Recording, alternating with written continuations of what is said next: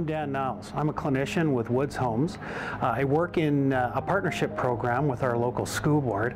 Um, and as a psychologist, a parent, a foster parent, I'm proud to uh, be with you today to uh, give you a brief synopsis of our presentation as part of the Woods Homes 100 Year Celebration Speaker Series uh, titled When Nanny 911 Won't Answer the Phone. I hope you enjoy what we have to say.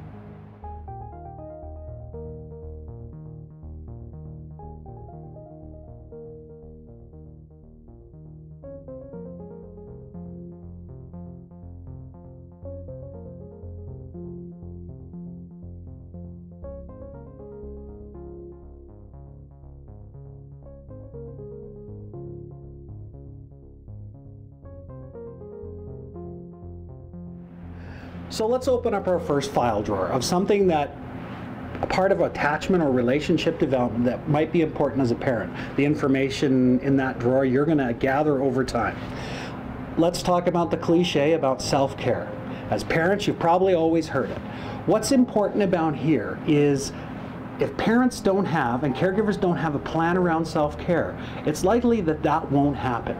In that file drawer, as you hear about all the ways that parents and experts say we need to take care of ourselves as parents and caregivers, you're going to put the ones that are the most important to you. Self-care is critical. And if you put them in that file cabinet and pull them out later, it might be something that you'd be interested in doing. Listening to music more, going to yoga, things that will take care of you. Take care of you so you can take care of the kids. Put that in this drawer. In our second important file drawer in our large parenting filing cabinet, you're going to put those things, those strategies, those things that we do that help us be in touch and attuned to our kids.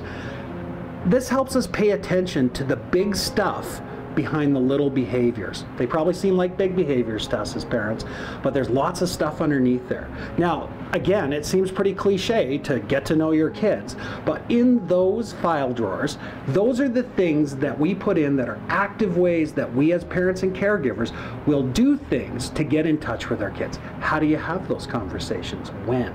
Actual strategies, books, listening to music together, things that you know you will do, things that will stick, that will help you get in touch with your kids. In our third file drawer, we're going to talk a little bit about consistency. Being consistently consistent. It is probably the thing that most parenting experts might say is, is important when we're working with children or when we're parenting. The thing is, is that they don't often tell us how to be consistent. And if they do, it might be a little rigid and may not fit for your family.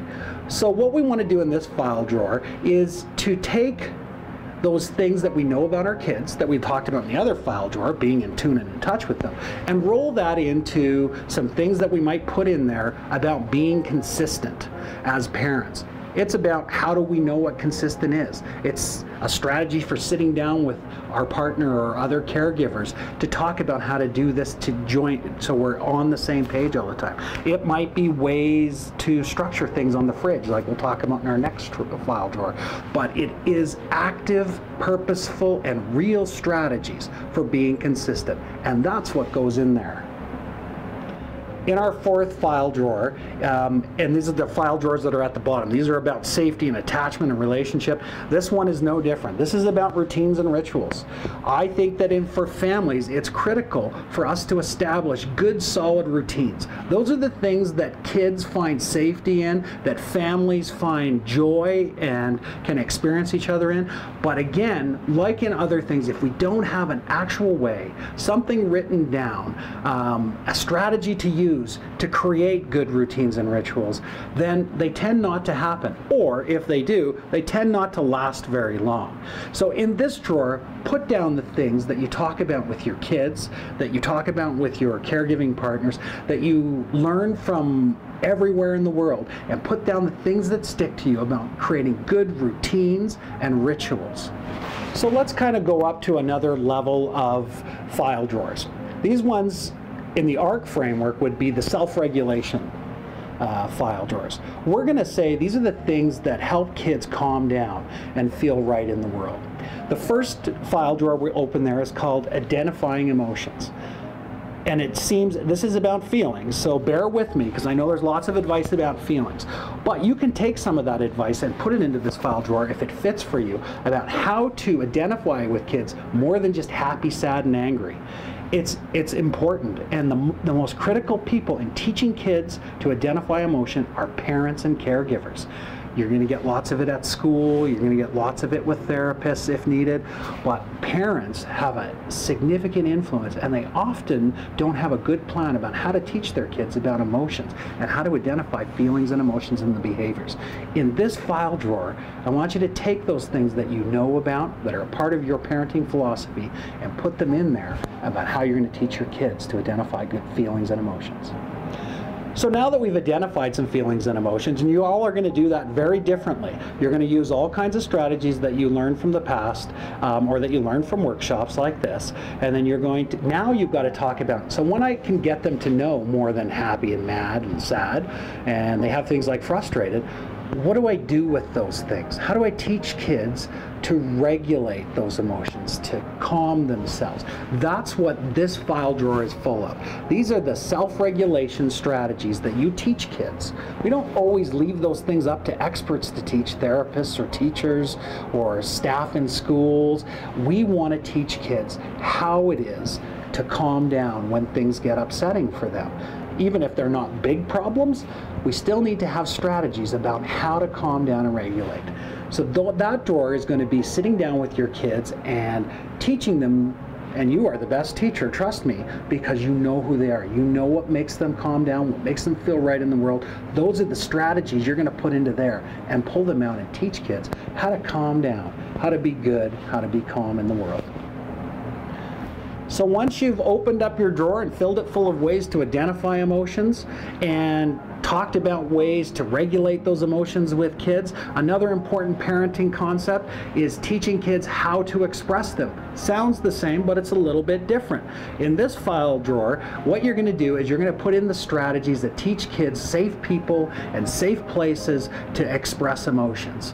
Often lots of behavior with kids, regardless of any diagnosis, comes from an inability to express themselves in a good and healthy way. Expressing emotions is more than just calming down and it's more than just knowing you're mad. It's finding the right places and people. These can be safety plans that you have with kids, connecting them with formal people at school like principals or guidance counselors or in your family, people that they can talk to if they're not comfortable talking to you. And most importantly, how are they going to express emotions to you? And can you make that safe enough? Going to need some strategies here. These are the kind of things that you can explore and put in this drawer. How am I going to create an environment in my home where expressing emotions has a way and a place? The last level, so to speak, of file drawers deals with competence. Now, competence are about executive functioning, problem solving, self-esteem in some ways. But for parents, the basics around that is we have to teach kids how to be well in the world. And that's not just about emotions or routines. It's about teaching them your values, your expectations, and how to be right in the world. Problem solving. We leave problem solving as parents and caregivers, we leave that up to schools often to teach. If you want your kids to problem solve and use things that you think are important in that problem solving process, then you probably need to be the one that influences how they do that. And that's what that those to that file drawer is full of. Those are things that you know about your kids and that you know about yourselves as parents that you want them to do. How do they stop and think in the moment? How do they make good decisions? They can learn that from their friends if you'd like, or they can learn that from other experts and that might be okay. But my guess is most of you out there have a way of problem solving that you want to pass on to your kids. Here's where we do it. We do it in this file drawer. and We do it in a purposeful way where we take something, we sit down with them, we teach them how to problem solve. And we teach them how to be well in the world, how to build self-esteem, and we give praise. Those are the things that happen in this file drawer. When those things are done, then kids are more successful in making decisions when we teach them to them. So use this file drawer a lot, as you will with all of the other file drawers. So I have to apologize in my conclusion if you were hoping to watch this and learn a whole bunch of new strategies. But my guess is that you can find and have heard a lot already. what I'm hoping that you might take from this is a way to take all of those things that you hear out in the world and put them in a place that you can evaluate them and use them later. And if that's the thing that you take from this, I think that that might help you be a more organized and more thoughtful parent, um, and in ways that you appreciate, that stick for you. I want to thank you for taking the time to watch this video. And if you have more questions, need more information, or want to explore more resources available at Woods Homes, just go to www.woodshomes.ca and you'll find lots of what you're looking for there. Thanks for your time.